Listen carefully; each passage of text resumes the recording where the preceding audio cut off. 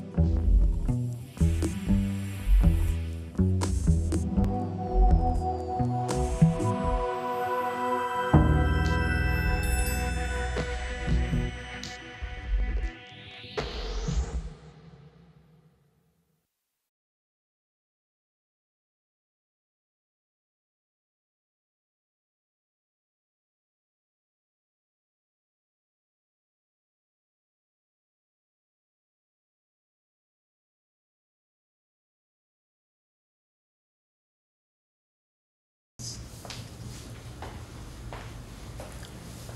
Uh, let me first announce that I am not a Weber scholar in any sense of the term.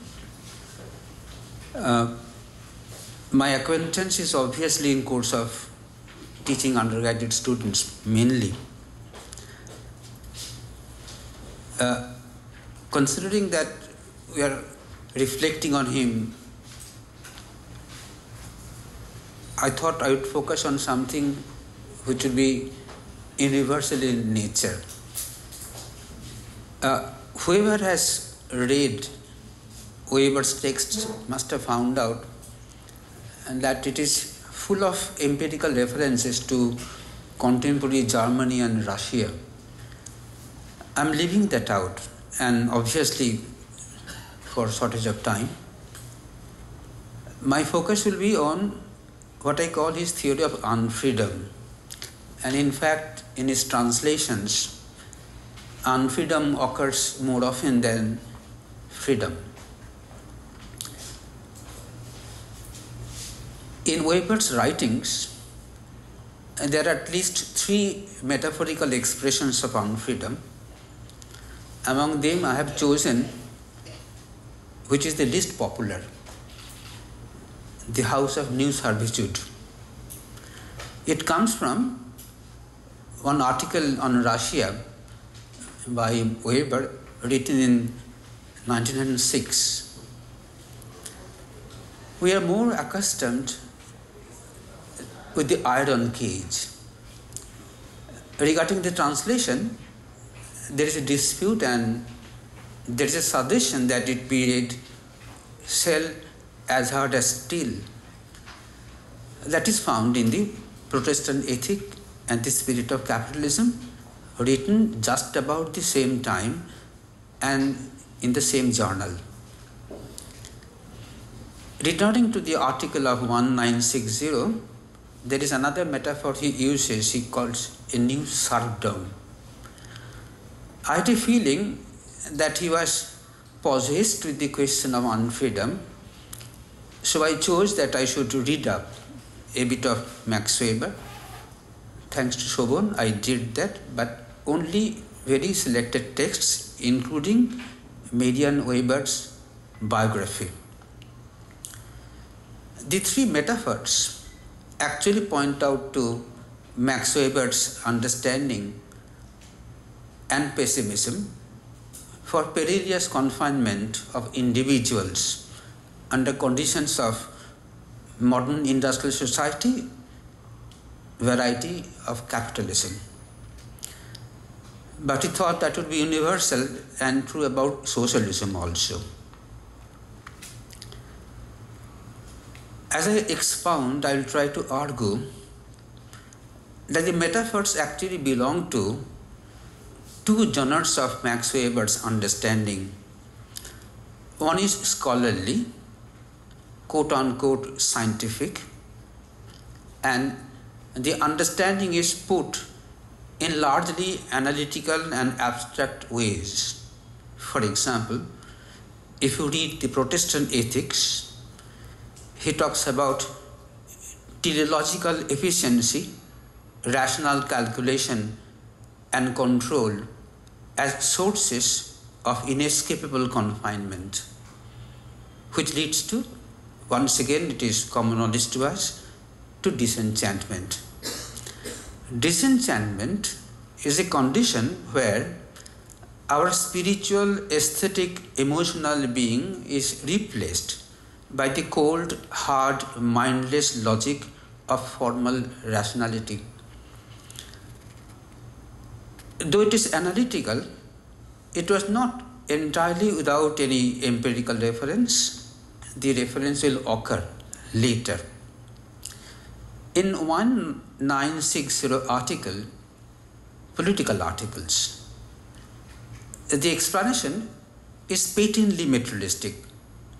And if I may put it in a single word, quoting Max Weber, he was actually hating what he called material goods' inexorable power over the lives of men.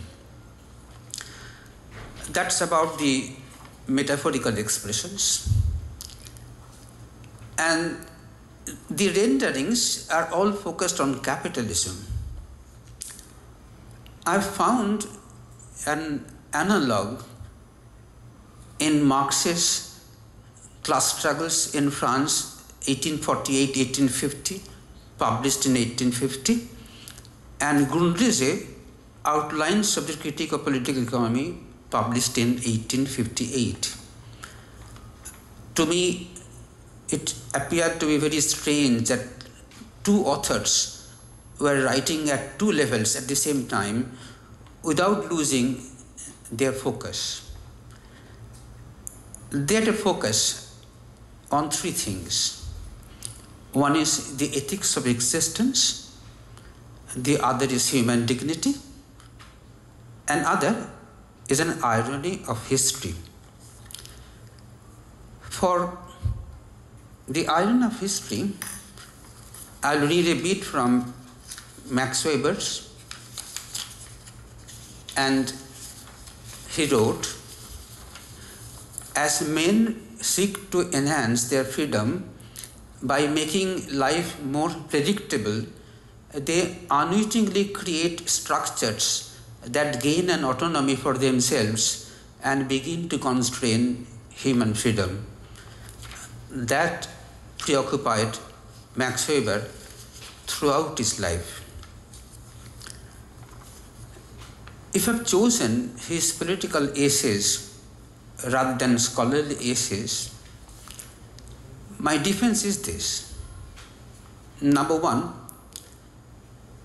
despite his projected value freedom, he was actually more driven by value relevance, and that is found more in his political essays. And he was categorical that sociology must play a role in exposing public policy and state practices, but without losing on objectivity. These articles were also unconstrained by the imperative of scholarly engagement.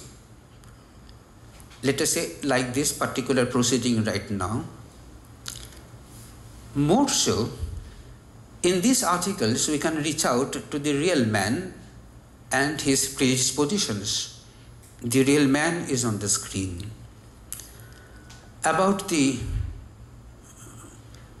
real man and the predispositions, I like to read a bit from Marianne Weber, his wife.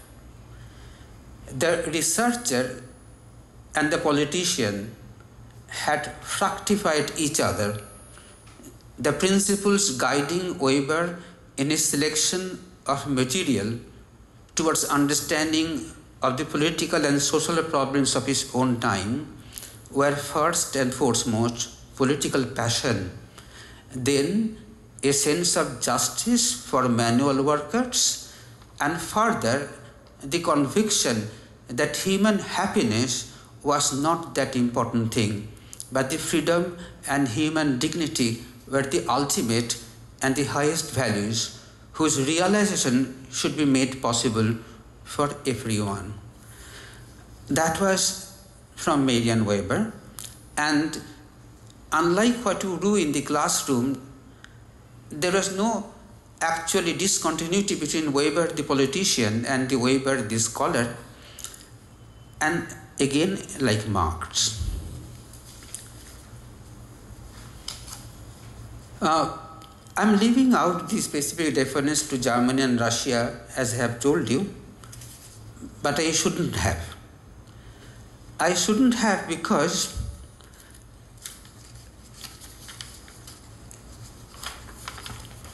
Max Weber wrote, after long experience, I am convinced that the individual can only come to know what his own will really is through testing his supposed ultimate convictions by his attitude to thoroughly specific problems in which the issues are sharply accentuated. We all know that he has this particular preoccupation with sharp accentuation that led him ultimately to the formulation of the ideal type. As part of this theory of unfreedom, I picked up a subtext on the working class. Up to now, I have located only one paper which deals with Weber's ideas on the working class by Eric Olin Wright, and that is very unsympathetic. I'll try to argue that maybe he deserved a little more sympathy. The attention was to what he called the potato eating proletariat, and for whom Weber had complete moral and political concern. This is surprising. For a self confessed, self conscious bourgeois and a pronounced critic of socialism. But then we must recall that what bourgeois, sorry, what Weber had as his commitment to bourgeois value were not unlike what we normally think to be the bourgeois value. They were three. One, devotion to work as a calling that is an end in itself. Two, an ascetic outlook that is material consumption must be avoided. And three, his individualism. He thought that all these three bourgeois values were under threat from capitalism in its growth, in its wake, bureaucracy, state stifling the individual, the comfort of the rentier existence, and relentless pursuit of material goods. If he was a bourgeois, he was evidently bourgeois of a different order. He was a critique of socialism and he didn't convert to socialism, but I will quote and show that according to Marianne Weber, he came close to becoming a member of the Socialist Party, which is unlike what we teach in the classroom. He didn't like socialism for a number of reasons. And maybe the die-hard Marxist and the communist would hate him for that. But I have a feeling that the current developments, particularly in critical assessment of Soviet and East European socialism, many of the criticisms we make were actually adumbrated by Max Weber himself. Number one, a command economy. Number two, the inevitable loss of the freedom of the masses and the individual. But despite his skepticism about socialism, he had his sympathies for the working class throughout his writing.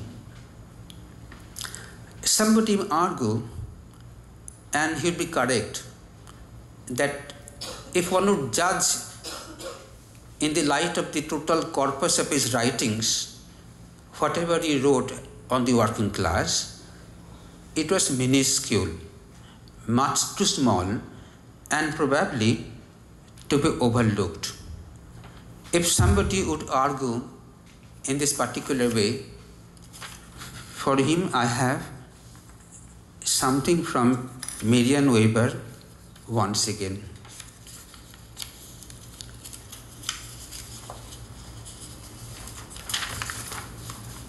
She wrote about her husband.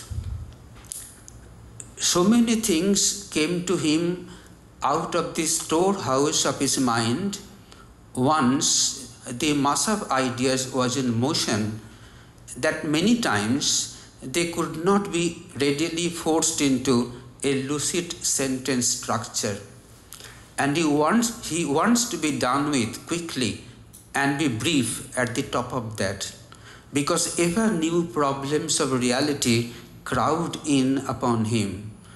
What a limitation of discursive thought that it does not permit the simultaneous expression of several lines of thought which belong together. After all, let the reader take as much trouble with these matters as he had done himself. I am trying to follow what Marianne requested us to do.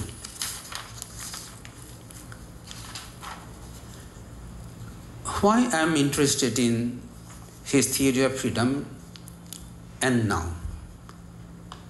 I mean, how do I defend that we need to retrieve marginal notes in Weber so that we can understand our own times?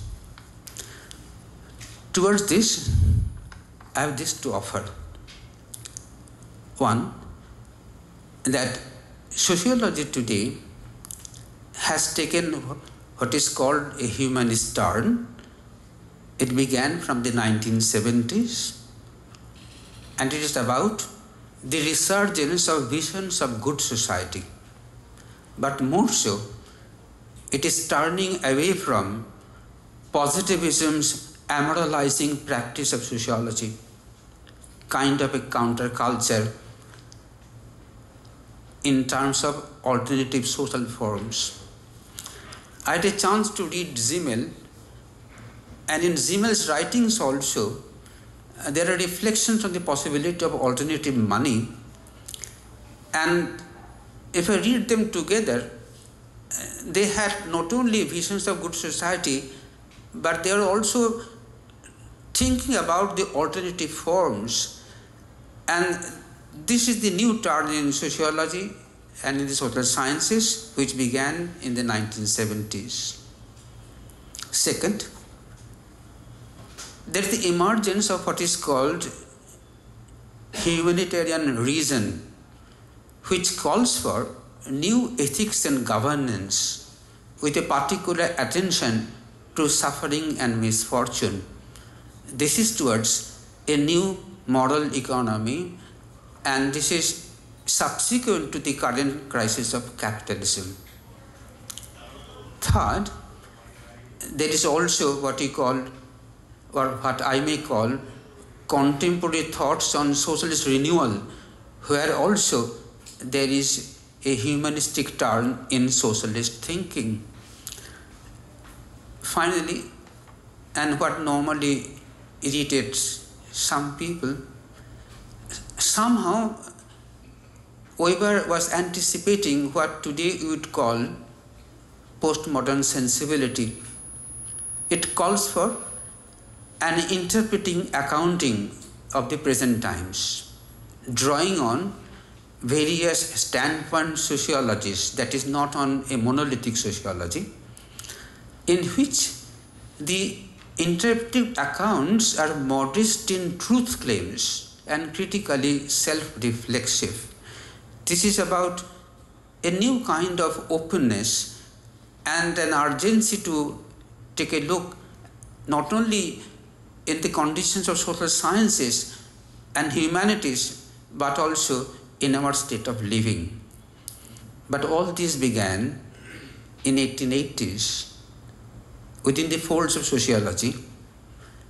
And those who look for the heritage, they looked for almost everybody, but I found that Weber was denied a place. Maybe they were stonewalled by his position on value freedom. in my humble way, I'll try to show that Weber had as much claim to be the father of this particular humanist turn.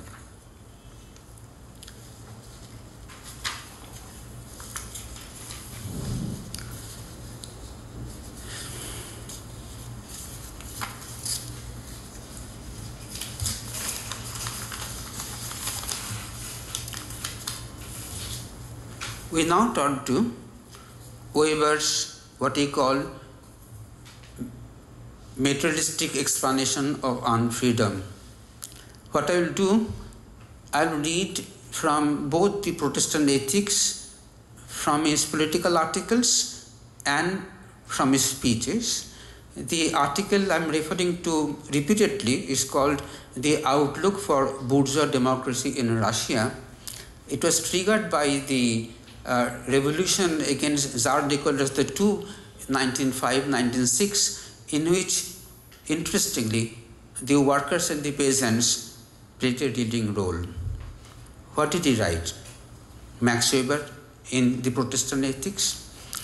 I am following a chronology in his writings so that I may not lose out on the sequence in his thoughts. He wrote, in Baxter's view, Baxter was actually an English Puritan church leader.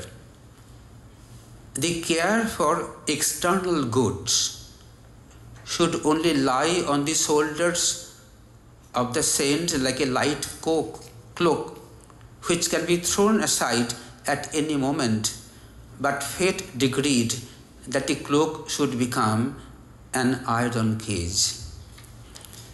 In the 1906 article, he wrote, the development of material interests points to the fact that everywhere the house is ready for a new servitude. From here I have drawn the title of my paper. It only waits for the tempo of technical economic progress to slow down and for rent to trump over profit. We can refer to our times also. The latter victory, meaning the rent trumping over profit, joined with the exhaustion of the remaining free soil and free market, will make the masses docile.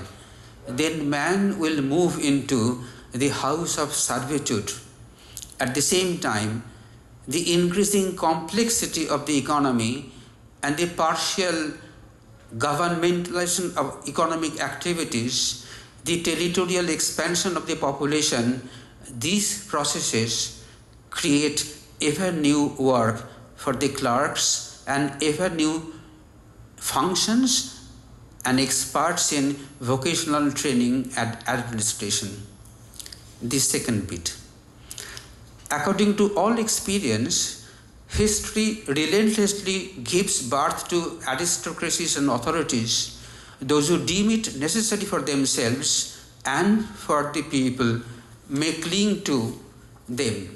If only material conditions and interconstellations directly or indirectly created by them mattered, then every sober reflection would convince us that all economic weathercocks point in the direction of increasing servitude. Everywhere in an industrially organized life, the structures of new serfdom were ready. He was wondering how freedom and democracy in the long run be possible under the conditions of highly developed capitalism. Freedom and democracy are only possible where the resolute will of a nation not to allow itself to be ruled like sheep is permanently alive. From there, he develops what is called an explicit paradigm for unfreedom. And his regret was that capitalism has led to charismatic glorification of reason, in the process dooming charisma as the vehicle of man's freedom. because charisma can be a vehicle of freedom only when men are not merely social products acting within the routines of everyday institutions, when he can create free institutions in the face of the economic system as compulsive apparatus rather than as the locus of freedom. He continues to comment to the extent freedom is available under conditions of developed capitalism, and I found what follows to be very interesting. It is at best a tarrying for loving companionship. Tarrying means waiting. And for the cathartic experience of art as this worldly escape from institutional routines. That could be about the various festivals, about various utshavs, this worldly escape from the routines of everyday life. But then he says, both love and this experience of art are the privilege of the propertied and the educated. It is freedom without equality. This will take me to the subtext of on the working class. But before we move away, we can have a final look at Weber's pessimism about human freedom. I read again from Protestant ethics. No one knows who will live in this cage in the future. Or whether at the end of this tremendous development entirely new prophets will arise, or there will be a great rebirth of old ideas and ideals, or this is his pessimism. If neither, mechanized petrification embellished with a sort of convulsive self importance. For the last stage of this cultural development, it might well be truly said specialists without spirit, sensualists without heart, this nullity imagines that it has reached a level of civilization never before achieved, and obviously what Weber never liked at all. We now turn to the subtext on the working class, and this is based again mainly on Weber's biographical memoir. It is Nisbet's comment on his Marianne Weber's biography that it's a biographical memoir.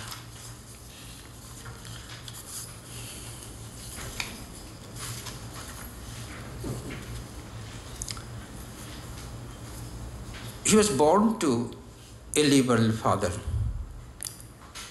But from 1857, he began realizing the German liberalism was appropriated by the German bourgeoisie and he wouldn't like it. So he started moving away, moving away to social liberalism. That was around 1887. What did he do? He had the abiding sympathy with proletarian struggle for dignified existence. And then he wanted the state to take care of the weakest class, the metropolitan proletariat. But then warned the state that it must not help the working class bureaucratically, but otherwise.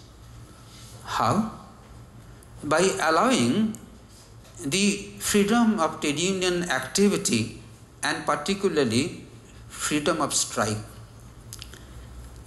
To the contemporary autonomist theories, I think Weber probably produced unknowingly a particular stimulus. And he was engaged in actual campaigns against coal magnates because they would deny, before the strike would take place, the right to strike and with reference to German law, and Weber was unambiguous that the German law itself was immoral and unethical and must be abolished. So he was in favor of the working class and trying to do whatever it would like to be done in their levels of living through their own effort, neither by the state nor by the bureaucracy and nor by a political party. In fact, he hated all such political parties, socialist parties, which had authoritarian temper. He had and a deep relationship in an association called Social Policy Association founded in 1873. That was a group initially formed with senior academics with a commitment to the working class, but it was joined by uh, important people also outside of the academia. And the task was to find out objectively, for example, the impact on industry, on intellect of the worker, and Weber's point was that to study and without losing sight of the rule of objectivity, but at the same time it is very important to do. What was trying to produce was the arguments for creation of a new model economy.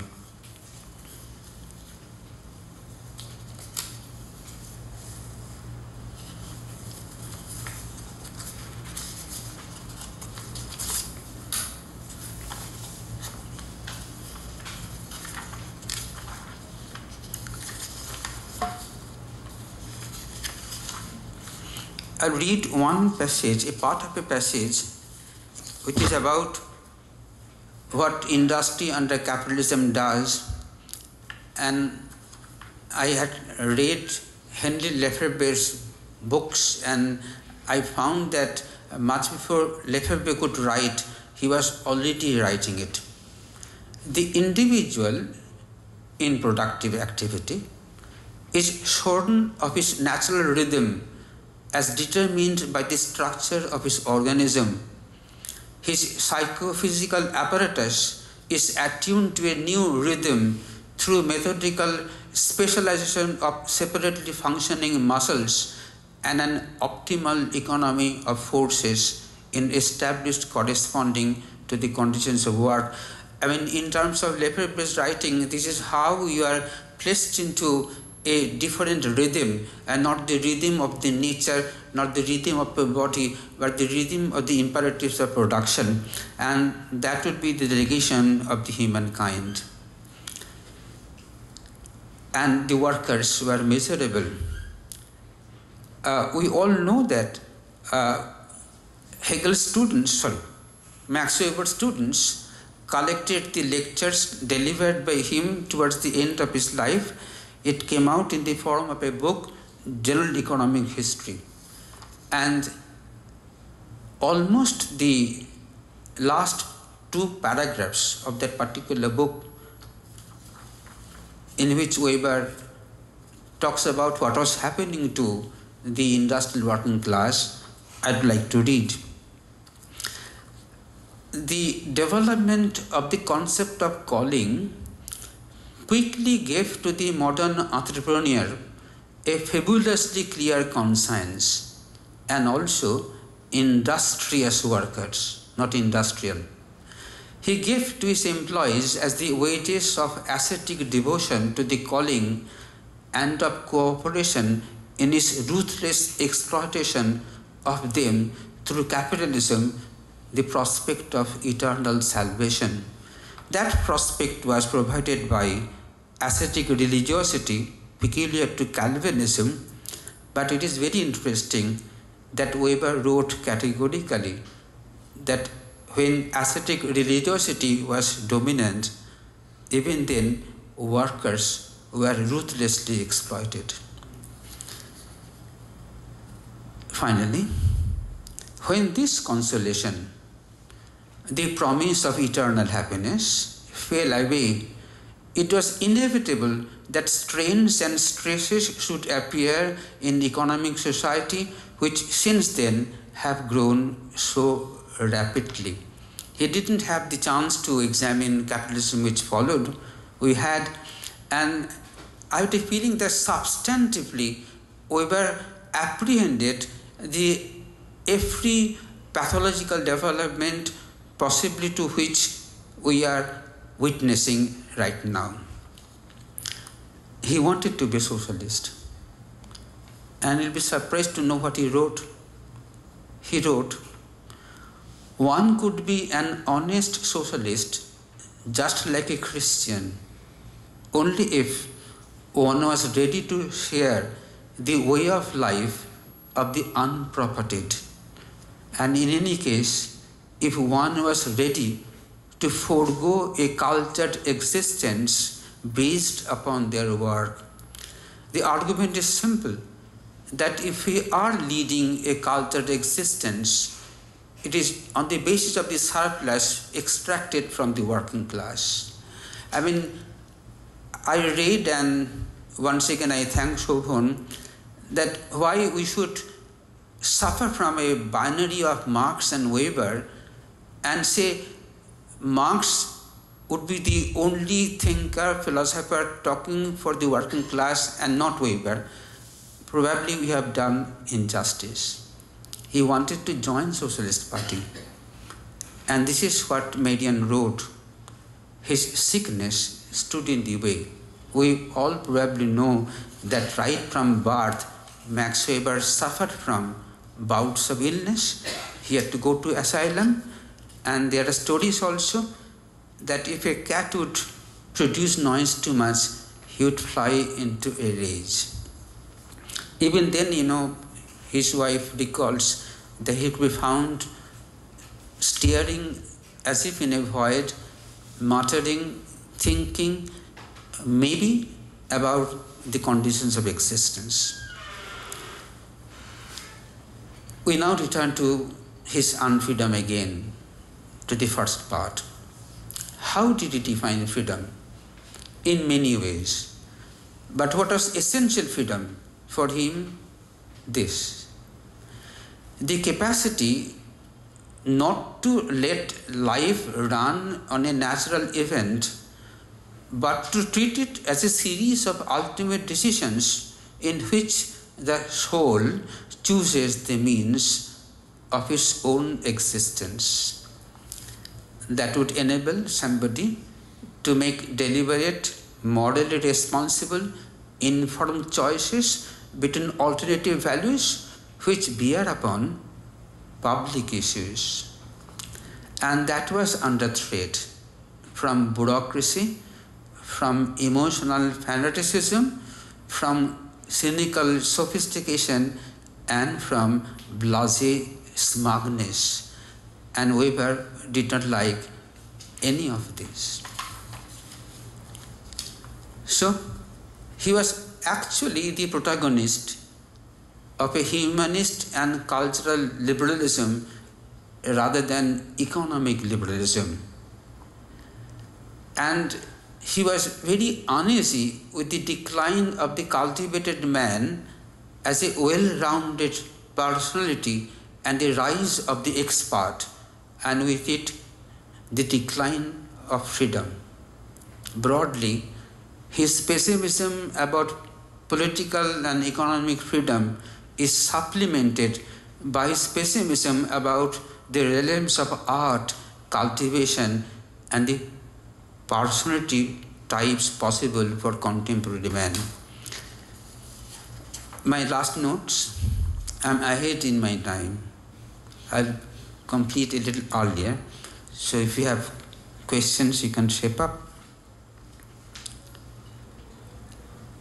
Almost in the last paragraph of the Protestant ethics, he unfolds what he should do after writing the Protestant ethics. He didn't have a chance though. Among many things, within five, six lines, this caught my eye. He wrote that I should proceed to find out the relationship of ascetic rationalism to humanistic rationalism. On ascetic rationalism stood obviously the spirit of capitalism. But he was not happy with it. He tried to return to humanistic rationalism. What did he mean? He meant the humanism of Renaissance and the Enlightenment. And what was that? Both cherished the virtues like understanding, benevolence, compassion, mercy, and prudence. It called for a conscientious review of history as well as utopian visions of better future. He was the possessor of the humanities, who must engage also in an active life of public service. What is much more interesting uh, that Weber liked and wanted to bring back the secular core of the humanities. And what was that? A belief that human beings are capable of being ethical and moral without religion or a God. Fundamental to the concept of secular humanism is the strongly held viewpoint that ideology, be it religious or political, must be thoroughly examined by each individual and not simply accepted or rejected on faith. My first answer. I do not know. This is one problem you have when you have a normal honors class. I can manage my time better, or when I know my audience. I always panic, even now at the age of 70, talking to a quote unquote unknown audience. So, could I convince something that we need to take a look back in Weber. And this is a series on German contribution to social science. I have no idea if Shobhan has a plan.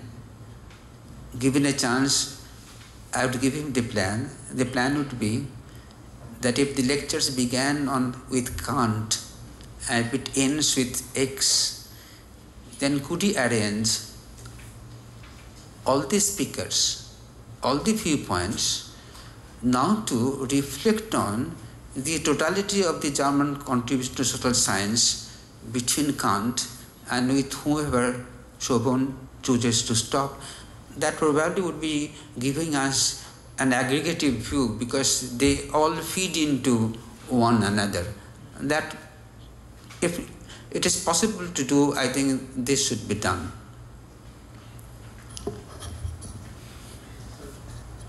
So? So you are not free to. But I, I have almost like applying for an anticipatory bail announced that I am not a Weber expert.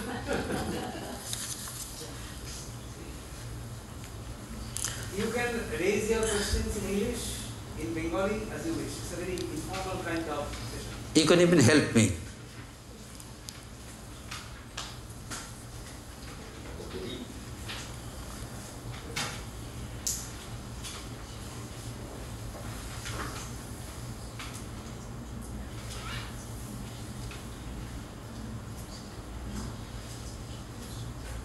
বল্টু শুনতে পাবো বল্টু তুই বলতে পারো?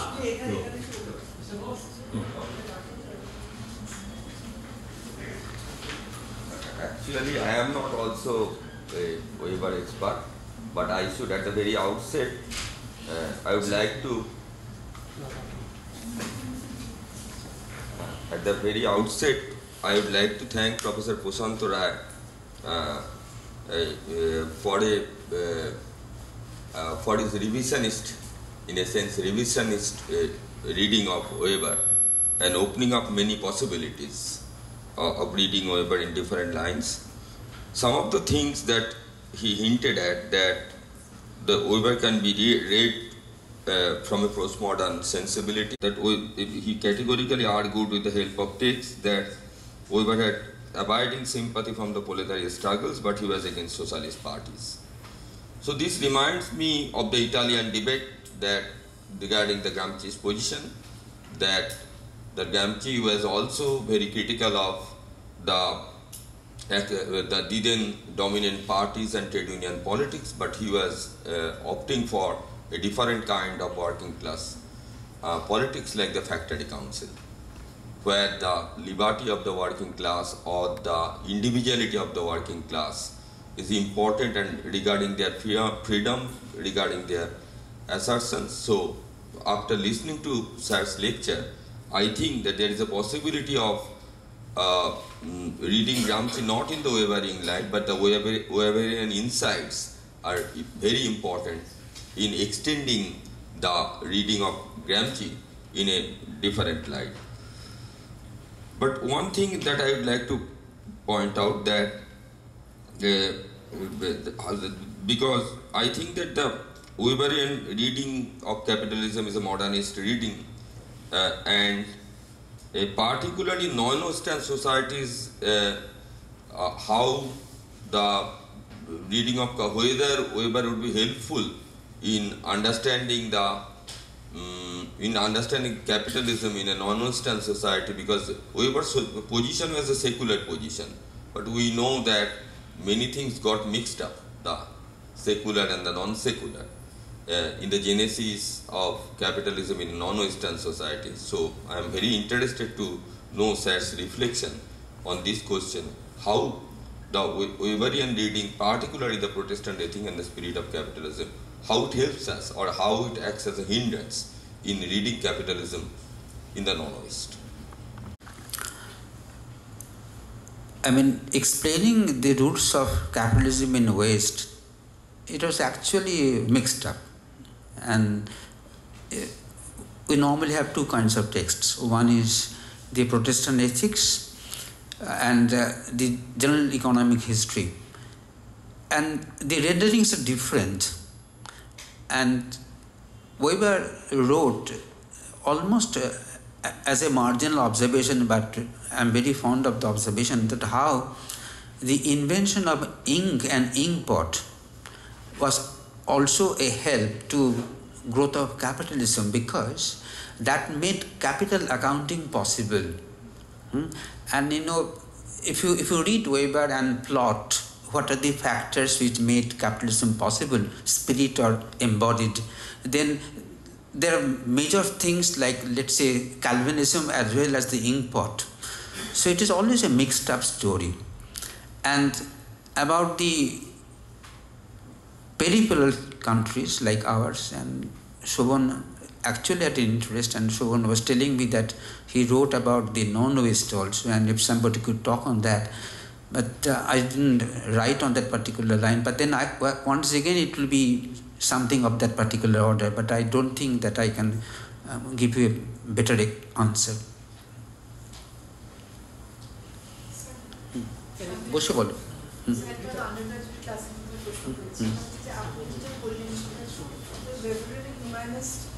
look at the uh, the capitalist uh, system or social system তো আমরা যখন bureaucracy যখন পড়েছি বিউরোক্রেসিতে একটা অনেকটা মেকানিক্যাল একটা স্ট্রাকচার একটা পড়েছি আমরা।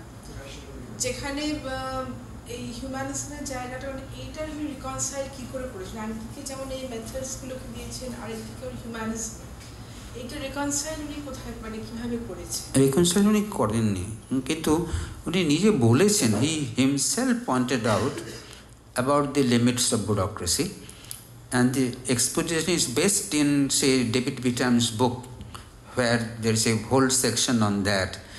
So he was very critical of bureaucracy, but then he thought that it is impossible to run modern society without bureaucracy either.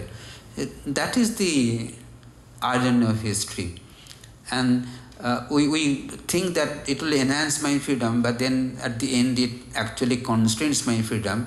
And this is almost inevitable. And there is this note of inevitability, as in Marx, also in Weber.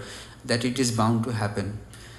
He thought that the best way to deal would be to actually remain exceptionally sensitive to every possible loss of freedom and do something about it, including criticize public policy, what he was exactly doing.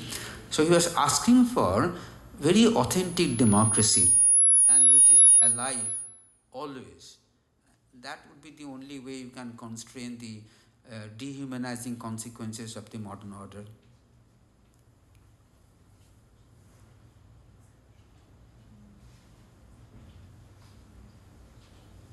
বলো না please do একটা methodological clarification চাইব আর আরেকটা একটা factual disagreement আছে বেশ factual ডিসএগ্রিমেন্টটা হচ্ছে I don't think renaissance humanism is actually divorce from religion মানে man being shaped in the model of God in the sorry in the image of God সেই ঘটনার মধ্যেই তো একটা রিলিজিয়াস ইয়ে নিহিত আছে। সুতরাং যে secular humanism I think is a very fundamental departure from renaissance humanism secondly আপনি ওয়েবারের নিজের লেখাপত্র ব্যবহার করছেন এবং মারিয়ান ওয়েবারের বায়োগ্রাফিটা ব্যবহার করছেন মানে would they be as sources on the same register? Uh, in the sense that when a wife's writing a biography of a husband, would that be on the same register as, say, the academic writings that you've also used? So That I've used be- also, that I've used also, though I didn't hmm, announce it. দুটো সোর্সের মধ্যে রেজিস্টারের মধ্যে একটু মানে different types of sources মানে সেটার মধ্যে একটু। আমার ওখানে একটু অসুবিধা হচ্ছে আচ্ছা ঠিক আছে। থ্যাংক ইউ এমনিতে ধরো, ওনার যে জেনারেল ইকোনমিক হিস্ট্রি বা ওনার যে ইকোনমি সোসাইটি তাতে গোয়েন্তার রথের ইন্ট্রোডাকশন আছে। গোয়েন্তার Roth is taken to be one of the most sympathetic interpreters Reinhard বেনিডিক্সের যে বই আছে অন ওয়েবার তাতে তিনি তিনটে main strands of looking at Weber বলেছেন। তারপরে গ্রেন্থার রথ ছিলেন সবচেয়ে সিম্প্যাথেটিক ডেভিড বিটাম যিনি তার পলিটিক্সটা ব্রিং আউট করেছেন। আর এই সোর্সগুলো like Marianne Weber somehow up till now আমার ধারণা যে Weber scholarship rest mainly on this three sources I was trying to combine and decombine then I stand corrected on humanism.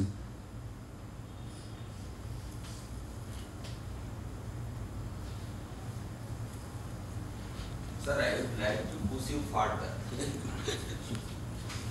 yes, sir. But it's very interesting that uh, when you have nicely argued that about about Weber's critique of experts and bureaucracy. So, do you like to connect somehow that uh, the Foucault's critique of the bureaucracy, experts, rule of experts? So, can we argue that the prehistory of Foucault's critique can somehow be connected with Weber's critique, maybe in a, from, from his marginal notes. I think it can be connected. It can be connected. But if you examine the history of the growth of ideas, something, let us say, becomes a part of the blood. For example, the criticism of modernity. So whoever comes later, I think knowingly or unknowingly absorbs a part of it. So one can always say that Foucault can be traced back to Weber, whether he read Weber or he didn't read Weber, that way. I will agree with your suggestion.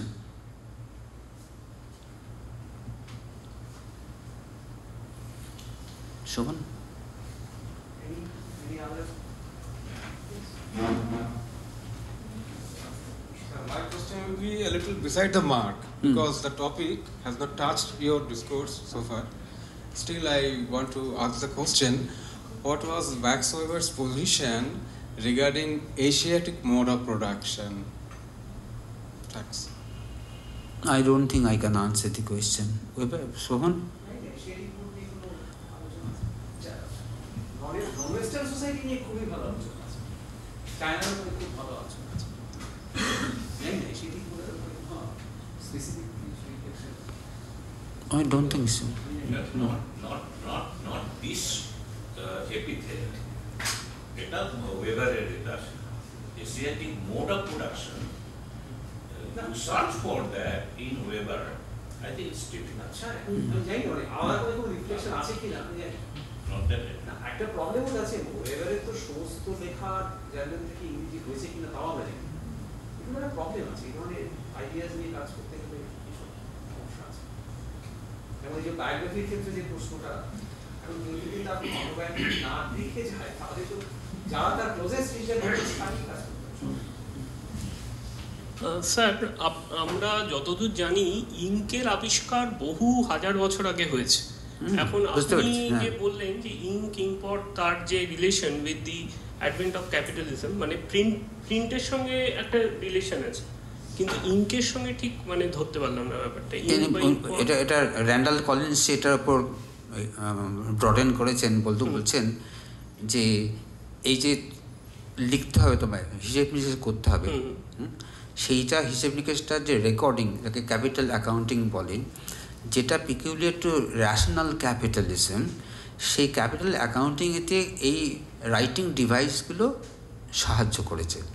মানে কেউ উনিও dispute করবেন না যে কালিটা আগে আবিষ্কৃত হয়নি বা হুম। ব্যবহারটা হয়নি কিন্তু ওটার যে এবার অর্গানিক কন্ট্রিবিউট করছে সেটা তিনি মানে sir there was a change in the technology of writing right মানে not in Right. Fact but there were change in the instruments of writing. And print and all those Right. Thank you uh, I think ink is relevant in the sense that the ink, writing in ink and writing by pencil makes a qualitative difference.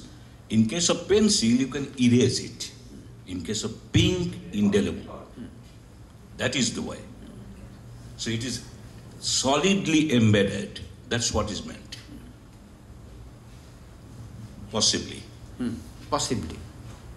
No, that is the character of ink. ink remains. He is raising a factual question because writing and writing with ink came much before why, why should that be taken as No, something might be there before, but when it is being used for what purpose, that is most important. Right. Accountancy, um, say Sombart's accountancy written in ink, combine, combine Sombart with ink. Think of it. Capitalism becomes highly solid. But ink was used for centuries.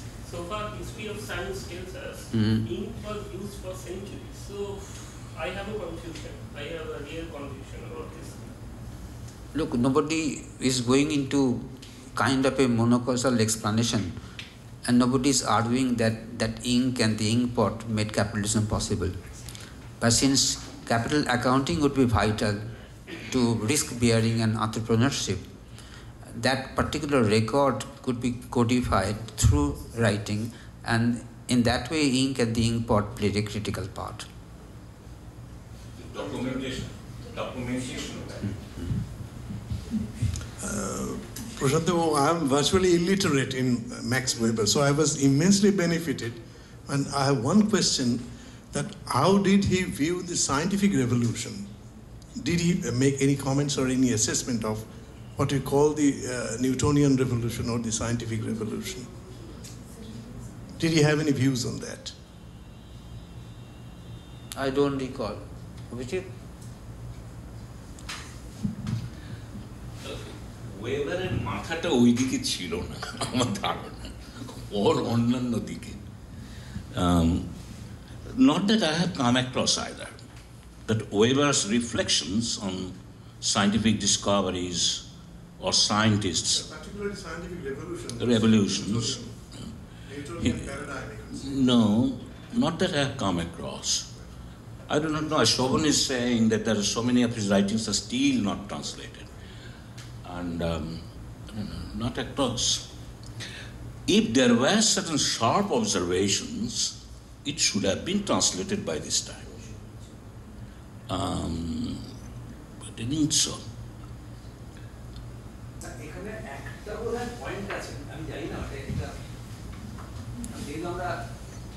মানে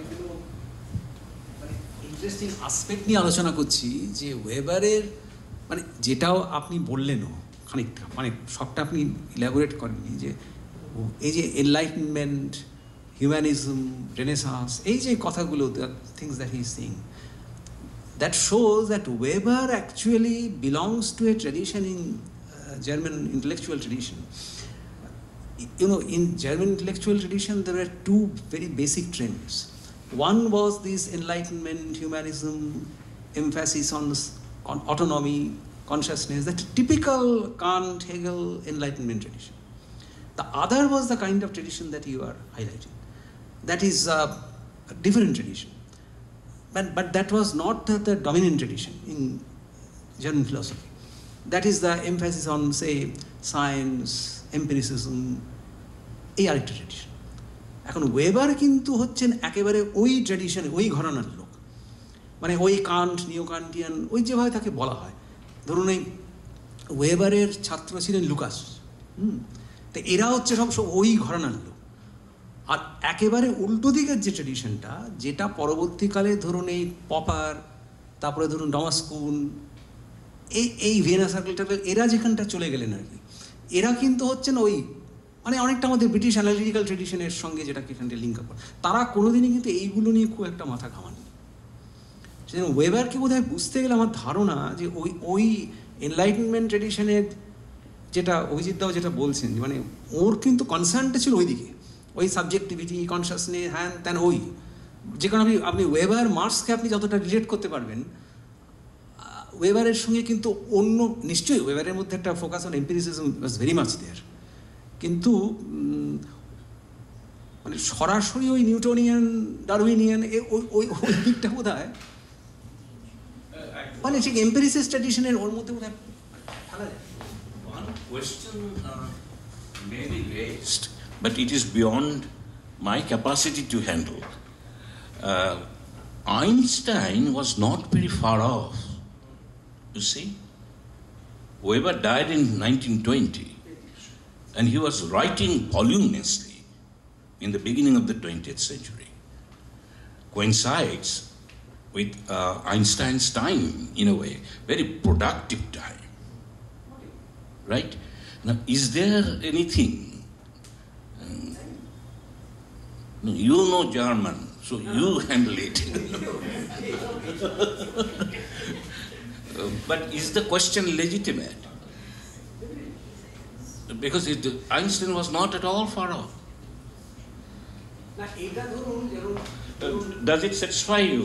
No, it doesn't satisfy me, but it rather extends my মানে question. German ট্রেডিশনের মধ্যে যেমন আপনার ওই উইটেনস্টাইন যদি উইটেনস্টাইনের মধ্যে কিন্তু এই ভ্যালিড মানে একদিকে প্রথম দিকে এক রকমের পরের দিকে আরেক রকম। উনি যখন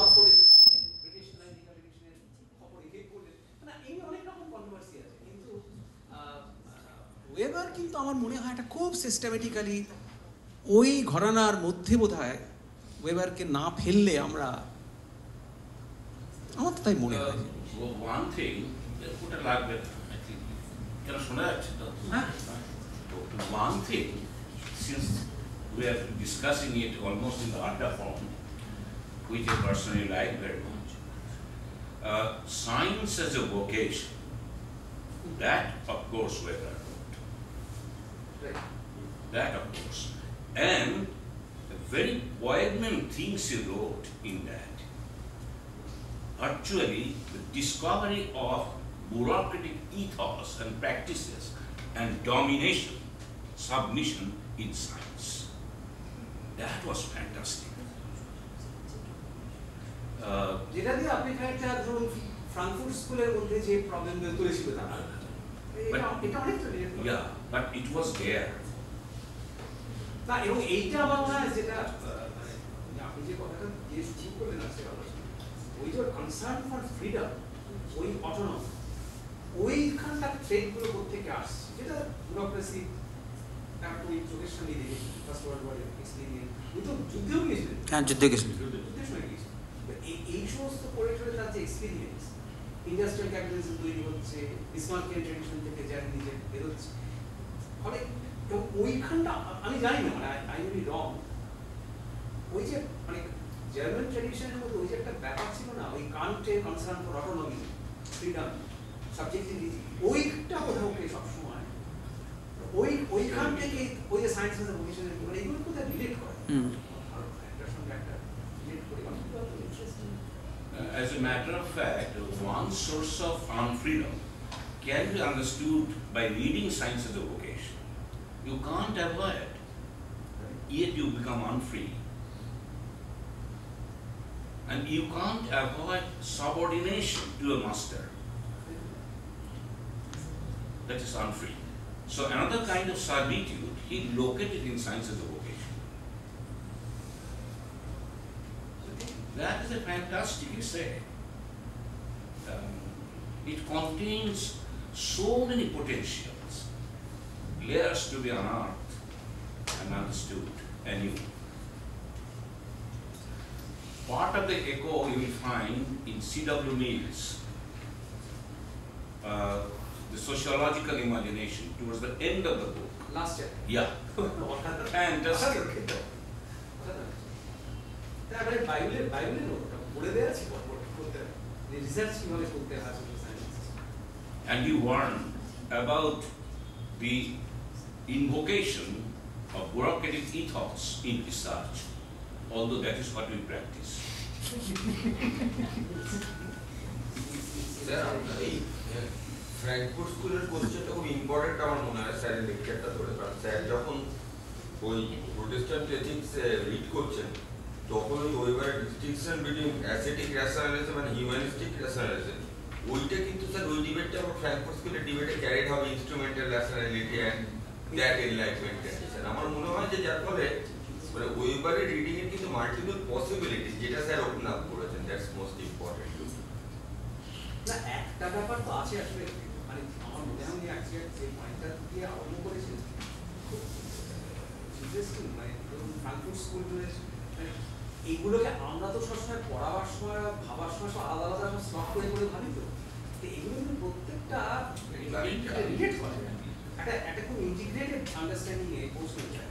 মানে একই প্রশ্নকে কিন্তু ধরুন ফ্রাঙ্কফুট স্কুলে অটোনমিক প্রশ্নটা ধরেছে ওয়েবার একভাবে মার্কস একভাবে প্রত্যেকের কাছে কিন্তু ওই প্রবলেম অফ ফ্রিডম এখন সেটা হয়তো। সিচুয়েট করছেন প্রবলেমটাকে বলুন আপনি বলুন। I came in a little late. I, I apologize. So I, I caught. I caught your introduction midway. Now, just to clarify, did Weber include art as an unfreedom, as something of the only of, of the propertied uh, class. class? Um, and that is from the Western uh, perspective. Right. Yeah, I, I just wanted to um, clarify that, and if you could perhaps elaborate uh, a little bit more on it, um, briefly as to why he considered is did he consider art to be of because of its um, connection with uh, religion, church, um, patrons. Not that way. I mean, I mean, the, the, the bit I have quoted, Mhm. It suggests that in order to enjoy art and in a market economy, then you must have the necessary resources to do so. And uh, if you go back to uh, his theory of class, uh, one category of class he calls the acquisitive class, which can buy life chances in the market, and that would include art or access to art. I think that he had in mind, and hence he argued that since the propertyless wouldn't have the uh, money to actually enjoy that particular aesthetic life, it will remain always uh, the advantage of the privileged and the powerful and the rich. But then on the other hand, you could stretch that as to, I mean, aesthetics is a very wide. I know.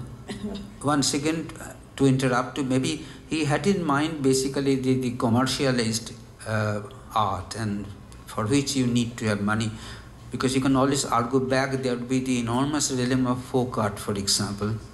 right? And going to be my where probably the, the poorer people or the ordinary people would have easy access to. But then that would be unmediated by any money or market. Mm, That would be kind of a commons, cultural commons, from which uh, the propertyless could easily draw.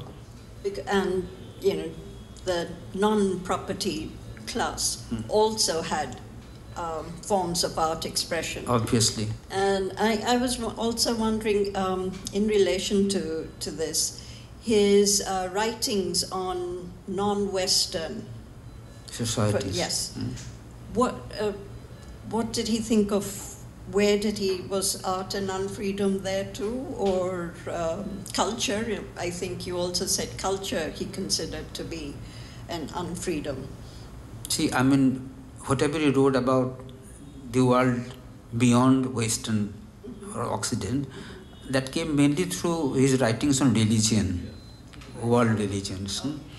And uh, as he wrote Sociology of Hinduism, he has made a confession that he didn't have any direct access to the Hindu scriptures and he depended on Max Muller's translations and he was rather apologetic about it also. And you may not remember, but we had a very interesting uh, meeting once upon a time in my gallery. Yes. A long time ago. Long time, yes, And that yes. is one of the reasons why I have come Sima. to this. Yes. it was a,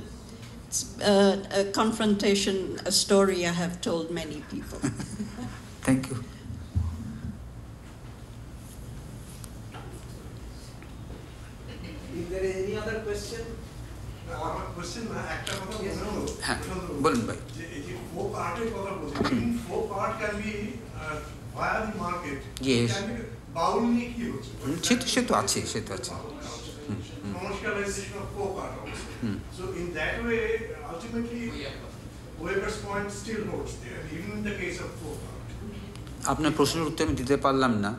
আমি scan করছিলাম যে যতভাবে পেরেছি to find a complete list of his writings তাতে কিন্তু আপনি যে প্রশ্ন তুলছেন তিনি টাচ আপন করেছেন বলে আমার কখনো কিন্তু মনে হয়নি বুঝতে পেরেছেন।